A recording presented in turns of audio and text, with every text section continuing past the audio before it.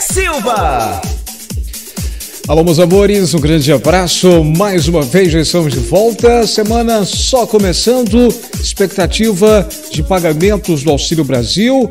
Final de mês de março são os últimos pagamentos desse mês. A expectativa agora é a liberação de mil reais e também de três mil reais.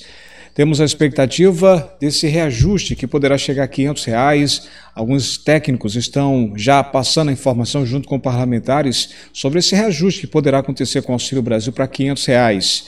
Espera-se apenas no mês de maio, talvez abril ou mês de maio. Nesse mês que, aliás, Estamos no mês de maio, a expectativa é que esse reajuste de mais 100 reais no Auxílio Brasil né, passa, passe a ser 500 reais, aconteça apenas em maio e não em abril. Qual o motivo seria? Em cima já dos pagamentos, pagamentos, pagamentos do Auxílio Brasil que já começa dia 14.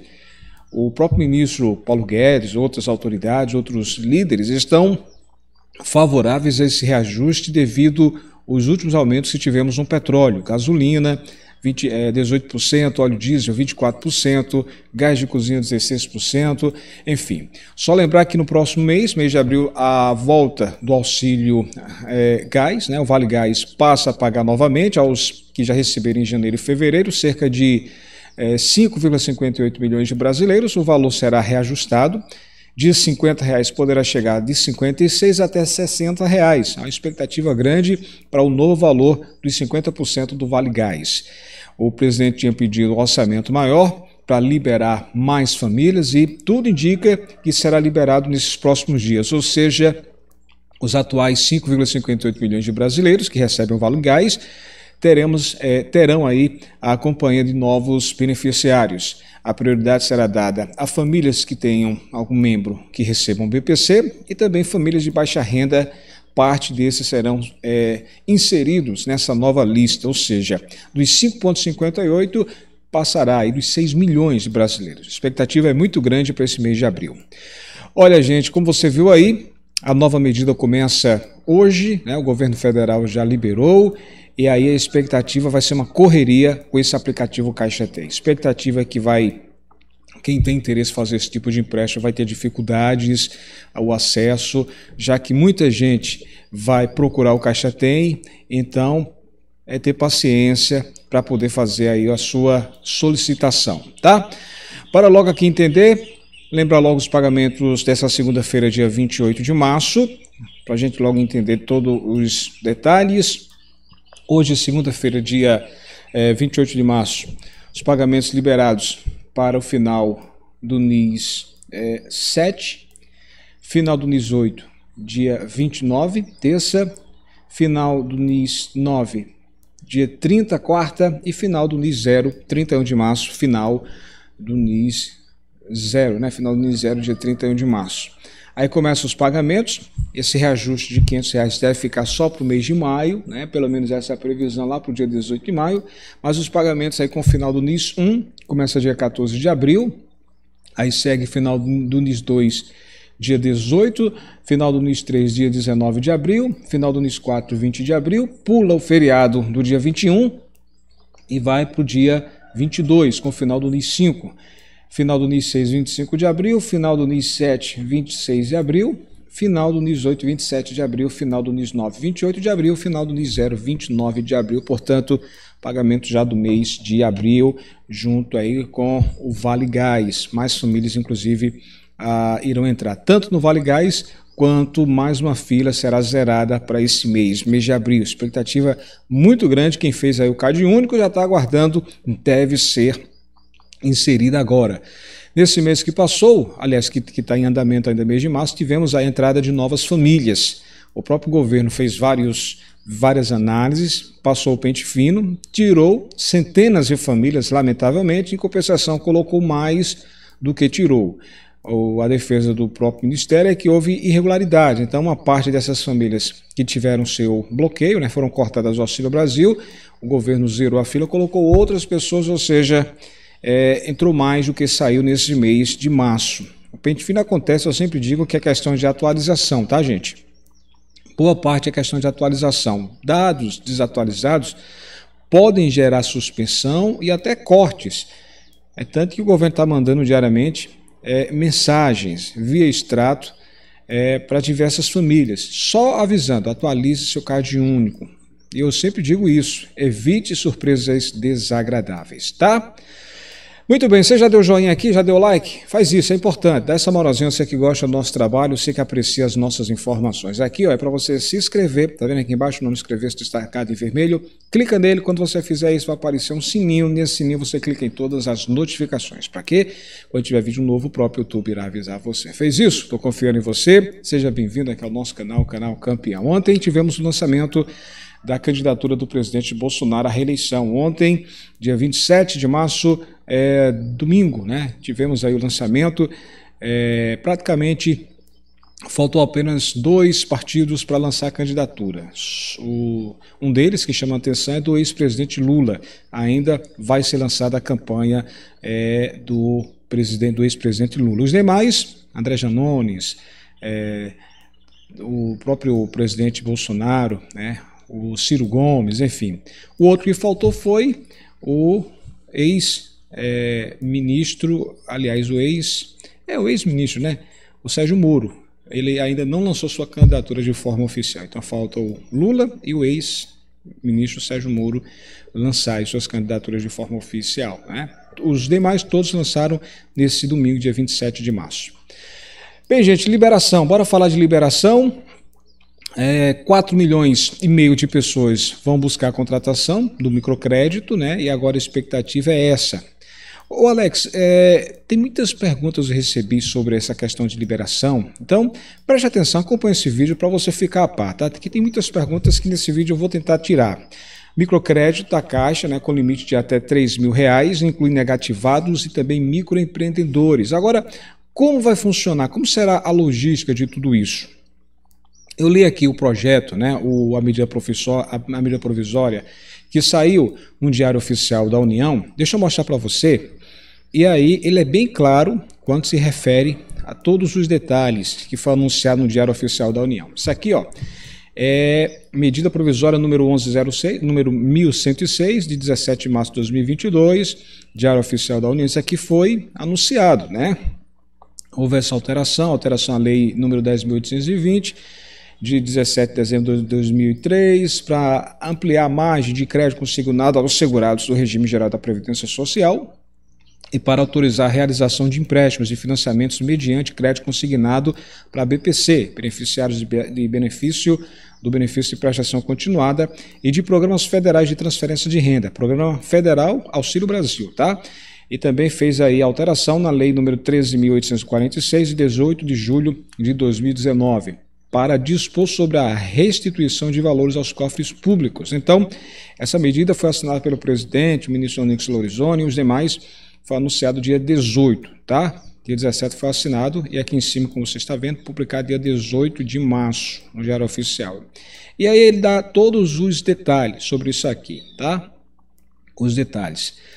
Ah, então, o que, que ele diz aqui? Só para você entender, ele fala o seguinte: presidente da República, no uso da sua atribuição que lhe confere o artigo 62 da Constituição, adota a seguinte medida provisória com força de lei. A lei, artigo 1 a lei número 10.820, de 17 de dezembro de 2003, passa a vigorar com as seguintes alterações. Então, foi alterado. Artigo 6, os titulares de benefícios de aposentadoria e pensão do regime geral da Previdência Social e do benefício de prestação continuada de que trata o artigo 20 da Lei nº 8.742, de 7 de dezembro de 1993. Poderão autorizar que o INSS proceda aos descontos referidos no artigo 1 e de forma irrevogável e irretratável que a instituição financeira na qual recebam seus benefícios retenha para fins de amortização valores referentes ao pagamento mensal de empréstimo. Então, nesse caso aqui, ele fala que a Caixa, que é o órgão responsável que vai fazer esses descontos. Né? Ah, aí diz aqui, é, financiamentos, cartões de crédito, operações de arrendamento mercantil por elas concedidos quando previstos em contrato. Ou seja, o que você vai pedir via aplicativo Caixa Tem vai ser um contrato estabelecido. E aí a Caixa vai poder fazer esses descontos, tá? Aí diz aqui, os descontos, é, parágrafo 5 os descontos e retenções mencionadas no caput não poderão ultrapassar o limite de 40% do valor dos benefícios. No caso de mil reais dá 50 é, e dois é, reais. Mas ele fala aqui 40%. 40%. Quando a gente vê a questão 40%, quando dizer 40% em mil, aí seria quanto? Seria 400, mas é uma questão de interpretação, né? Tinha um, tinha um inscrito perguntando, Alex, os descontos que, que não poderão ultrapassar o limite de 40% do valor dos benefícios. Agora, bora lá. 40% está em cima de mil. Mil é o, é o desconto, né? Na verdade, o seu limite, quanto é o seu limite hoje? Quanto é? Hoje é 400 reais de Auxílio Brasil. Se for 40% e 400, seria quanto? Seria 40 vezes 4, 80, 120, 160 reais. Só que não é assim. Na verdade, você não recebe 400, é um complemento. Você recebe menos, recebe 150, 160 reais. Então o desconto ficar aqui, vai ficar aqui em 52 reais, tá? Só para fazer uma matemática rápida para a gente não estender muito. Pegou mil reais, o desconto é 52 reais durante dois anos, tá? É aqui diz até 5% do limite que trata o quinto parágrafo poderá ser destinado à amortização de despesas contraídas por meio de cartão de crédito ou cartão consignado de benefício, ou utilização com a finalidade de saque por meio do cartão do crédito ou cartão consignado de benefício. Aí diz aqui, os beneficiários do, de, de, programas federais de transferência de renda, ou seja, você que faz parte do Auxílio Brasil, né? Aí diz aqui que os beneficiários poderão autorizar a União a proceder aos descontos em seu benefício, ou seja, quando você abaixar, quando você acessar o Caixa Tem, Lembra, o Caixa Tem vai ser muito procurado nesses primeiros dias, tá? Segunda, terça, quarta vai ser muito procurado, então deve ter sofrer uma instabilidade. Então muitas vezes você não vai conseguir. Aí aí tenta no outro dia, ou tenta de madrugada, ou tenta na, no terceiro dia, mas até você conseguir, tá? Ah, aí ele fala aqui o seguinte: Parágrafo único, a responsabilidade pelo pagamento dos créditos de que trata o caput será direta e exclusiva do beneficiário e a União não poderá ser responsabilizada ainda que subsidiariamente em qualquer hipótese.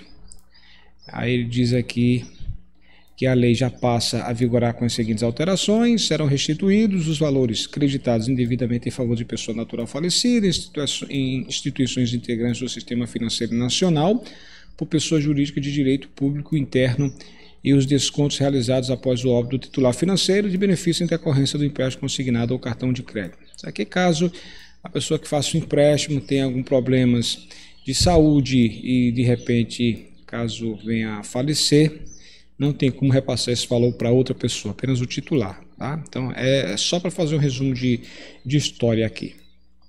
Então, é, aqui encerra dizendo o seguinte: essa medida provisória entra em vigor na data de sua publicação, dia 17 de março e aí, assinado pelo ministro Paulo Guedes, presidente Bolsonaro, o ministro João Romaneto, como você está vendo, e o ministro do Trabalho, Onix Lorizone. Bem, esse resumo que você viu aqui do, do Diário Oficial da União sobre esse microcrédito, só para você entender que não há é, divisão de datas. Né? Muita gente vinha perguntando, Alex, quem é beneficiado do Auxílio Brasil é verdade que só vai receber lá para o mês de abril, mês de maio esse tipo de empréstimo microcrédito, não tem definição sobre isso, tá? Então, isso aí a gente vai estar acompanhando diariamente para poder chegar a esse denominador. Como você viu, as regras, eles não são citadas. Ele diz apenas que essa liberação são para todos e aí vai ser via Caixa Tem.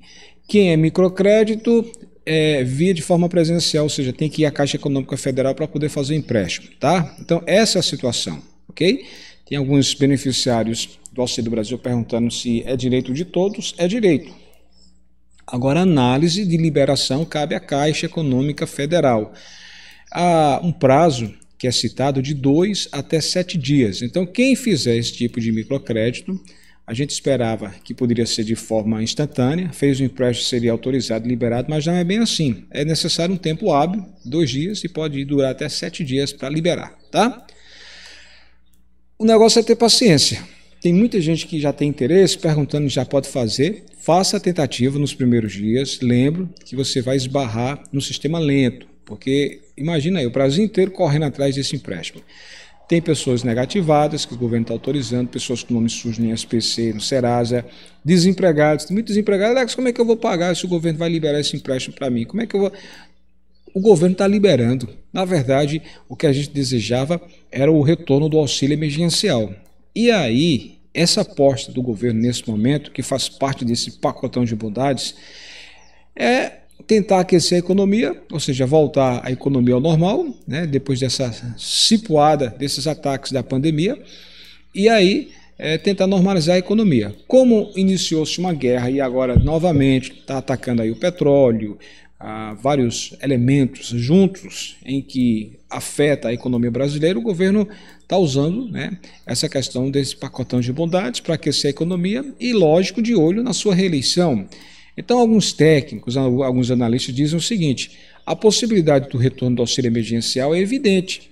O governo tem até julho, até o mês 7. A partir do mês 8, dia 1 é proibido. Então, eles estão avaliando. Tá? Isso pode acontecer a qualquer momento, o retorno do auxílio emergencial, se não der resultado esse pacotão de bondades do governo. O governo está atacando aí várias categorias, ou seja, 10 terceiro dos aposentados e pensionistas já começa a ser pago agora em abril, primeira parcela, segunda parcela em maio.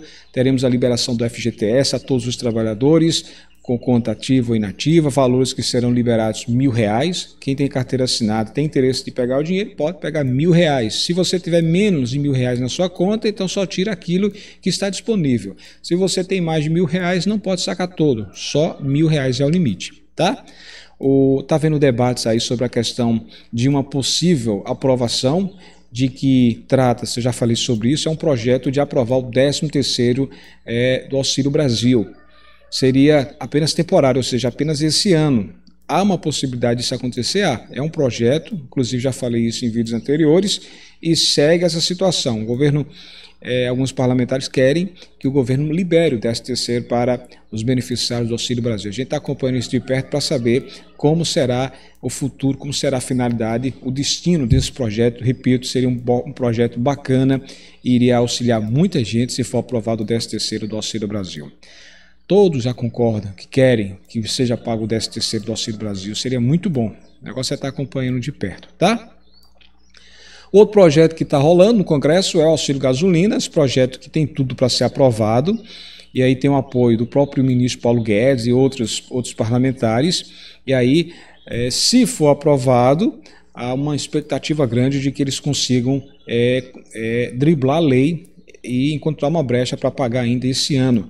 Então, taxistas, mototaxistas, motoristas de aplicativo teriam direito a 12 parcelas de 300 reais e a prioridade será dada aos beneficiários que recebem o Auxílio Brasil. Por exemplo, você que recebe hoje 400 Auxílio Brasil, se esse auxílio gasolina, 12 parcelas de 300 for aprovado, e se eles conseguirem essa brecha na lei, começariam a pagar já nos próximos meses, e aí duraria durante um ano, né? duraria 12 meses, 12 parcelas. Então, essa é a situação desse projeto, repito, é um projeto importante que o governo está tentando ajudar essas categorias. Tem o Bolsa Caminhoneiro também, que é outro projeto que o presidente Bolsonaro já vem defendendo junto com outros parlamentares. E aí seria pago R$ reais de auxílio durante o ano, durante o ano a esses profissionais que são os caminhoneiros. É outro projeto paralelamente que está rolando no Congresso. A gente está acompanhando qual o fim desse projeto, se vai ser aprovado ou não, tá? Então, são esses projetos que estão tramitando no Congresso. Se você ficou em dúvida, como o vídeo vai ficar gravado, é só você voltar à parte que você ficou aí nessa, nessa, com essa dúvida, tá? Espero ter ajudado. Compartilhe esse vídeo no seu grupo do WhatsApp, linha do tempo, do seu Facebook. Eu estou no Instagram, no blog Alex Silva. Vai lá. Forte abraço, pessoal. Até a próxima. Tchau, tchau.